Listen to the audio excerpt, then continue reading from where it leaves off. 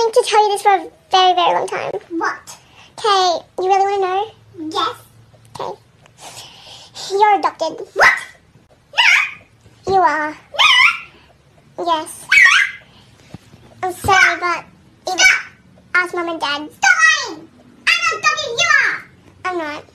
I was. I chose you when we got to go to the adoption place. I'm. I'm not kidding. Yes. You're not my real sister. Pete is my real sister. My older sister.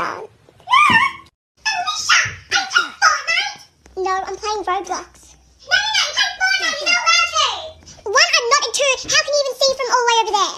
Well, I can still see from here. And besides, you're not allowed to play that. You're too young to play that. I'm 13. What are you on about? There's like five-year-olds playing.